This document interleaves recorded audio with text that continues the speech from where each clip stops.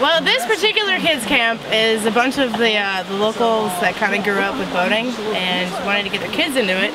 So we invited a bunch of the, uh, the local kids out for a couple of days of boating. Everybody has been fantastic. I think it's been a lot of fun getting to know each other and work on some news. You meet a lot of new people in kids camp. It's awesome.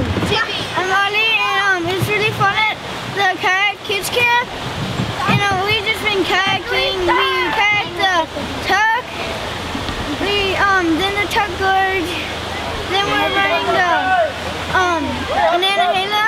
It was really fun, and every day before lunch we go to a lake. Um, kids camp is about polishing our um, kayaking skills, like learning to roll, wet exit, and um, bow rescue. Sure, well, it's really fun. And uh, it's all about learning how to kayak and roll. So kids camp is fun and stuff. And um, it's a kayaking thing. It's kind of like a clinic. Um, and um, well, it is a clinic. And um, we go down rapids and stuff. And we learn how to do wet exits, rolls. Um, we decided to come here to learn how to kayak. And but over the time, I felt like not doing it.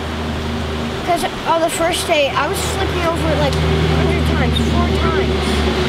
And I felt like not doing it until I did it on Thursday, Sunday, and now I actually feel m- way more confident.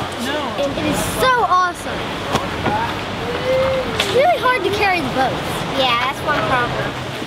Some of us are having a really good experience.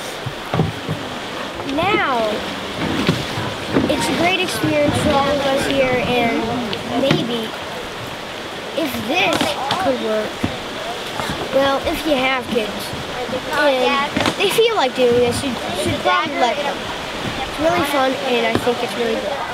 Yeah, Endless River Adventures